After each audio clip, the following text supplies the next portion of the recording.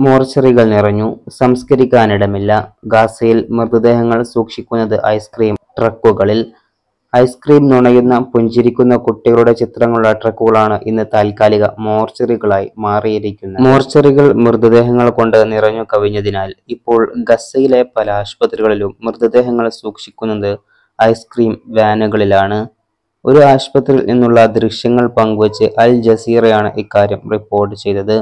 ആശുപത്രികളിലെ മോർച്ചറികളിൽ സൗകര്യങ്ങൾ കുറവായതിനാൽ അതിൽ കൂടുതൽ ആളുകളെ കൊള്ളുന്നില്ലെന്നും ഐസ്ക്രീം വാഹനങ്ങളിലാണ് ഇപ്പോൾ മൃതദേഹങ്ങൾ സൂക്ഷിക്കുന്നതെന്നും ആരോഗ്യ പ്രവർത്തകർ പറയുന്നു. ഇത്തരത്തിൽ മൃതദേഹങ്ങൾ പോലും സൂക്ഷിക്കാൻ ആശുപത്രികൾ ഇല്ലാതെയായി മാറിയിരിക്കുന്നു. മൃതദേഹങ്ങൾ സൂക്ഷിക്കുന്നത് ഐസ്ക്രീം വാനകളിൽ. ഇസ്രായേൽ പലസ്തീൻ യുദ്ധം തുടങ്ങി പ്രശ്നങ്ങൾ തുടങ്ങി ഏകദേശം പത്ത് ദിവസമാകുമ്പോൾ ഫലസ്തീനിൽ മാത്രം രണ്ടായിരത്തി അഞ്ഞൂറിന് മുകളിൽ ആളുകളാണ് മരണപ്പെട്ടിരിക്കുന്നത്.